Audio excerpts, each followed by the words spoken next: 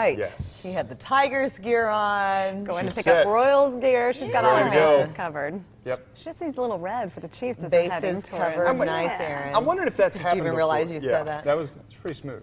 That's good. Of course. You did good. all right, I can't even remember what I was going to say after that because that was such a great line. No, I don't know. Chiefs. Okay. Somebody was Yeah. saying something about Chiefs. You've got red on because we do It have that big game yeah. Sunday. Red and Fridays. We've got a big uh, Sunday. Not only is it Sunday night football, it's the Broncos. And Matt, you were saying one of the biggest games of the season here as we're heading towards Sunday night. So keeping a close eye on quickly changing conditions in terms of our weather in between now and that Chiefs game Sunday night. One of the reasons we'll see changes for today, southerly winds. Yesterday at this time, the flag was moving the other direction with cold northerly winds. Today, strong southerly winds will bring in warmer conditions this afternoon. Warmer. I don't necessarily think it's going to be warm. Still chilly even through this afternoon. 36 degrees, that's our temperature, but our wind chill is in the 20s here in the city all across the board.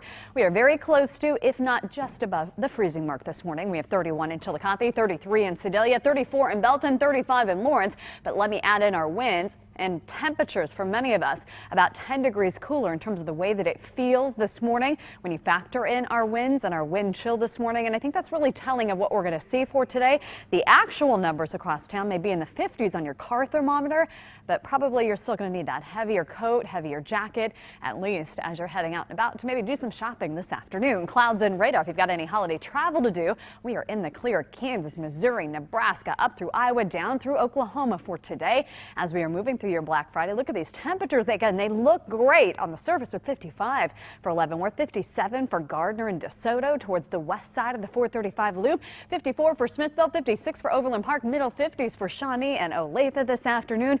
East side of town we go from Liberty through Independence, middle 50s here along with Blue Springs and Lee Summit, 56 degrees, our forecast high as we're heading into this afternoon. But again, worth a mention, it is going to be windy in addition to the warmer conditions for today with those gusty winds.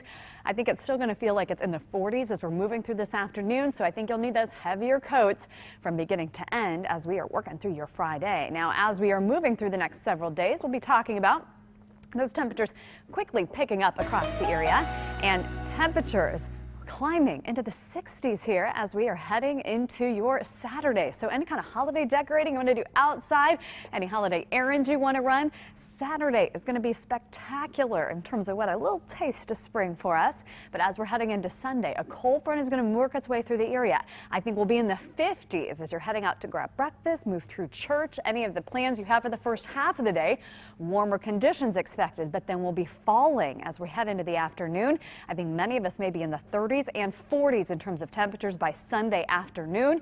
And by Monday, a high of only 30 degrees. Man, that's certainly going to feel cold compared to the weekend. And as this colder air is moving through, clouds, kind of waves of them, and I wouldn't be surprised if we see a brief light snow shower or flurry, but really that is it in terms of moisture chances here for the next five to seven days. Matt, over to you.